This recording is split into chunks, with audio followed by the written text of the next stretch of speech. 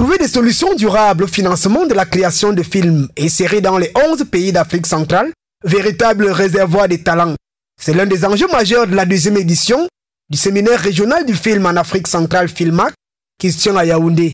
Autre point euh, sur lequel nous avons essayé d'innover était d'avancer sur la partie euh, économique en voyant comment on pouvait éventuellement euh, mettre en place les, prémices d'un nouveau client pour les, pour les créateurs africains. Tout ce qui nous tient à cœur, nous cherchons à créer une série tchadienne.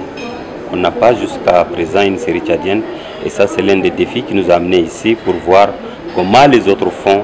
Si la production des films et séries en Afrique centrale reste à questionner, l'épineux problème du financement de la filière film en Afrique est débattu par les politiques, les acteurs et les consommateurs qui, pense que le film dans cette partie d'Afrique ne peut décoller que si certaines conditions incontournables sont remplies. La République centrafricaine a passé des moments très euh, émouvants dans la guerre. On a eu beaucoup de retard euh, sur nos activités culturelles ainsi que le tourisme en République centrafricaine.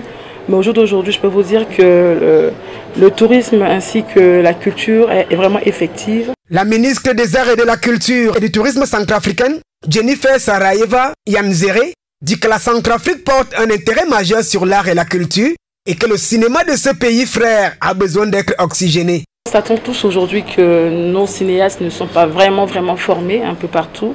Euh, au contraire, vous voyez bien qu'en Afrique de l'Ouest, il y a des écoles qui forment hein, les, cinéastes.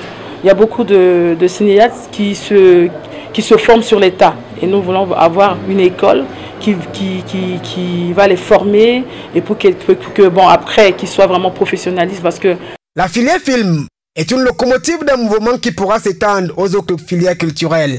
La dynamique sectorielle FILMA, amorcée sur la base des investissements avec l'appui du ministère des Arts et de la Culture, du CLAP et de l'Institut français, promet des jours meilleurs aux films et séries en Afrique centrale.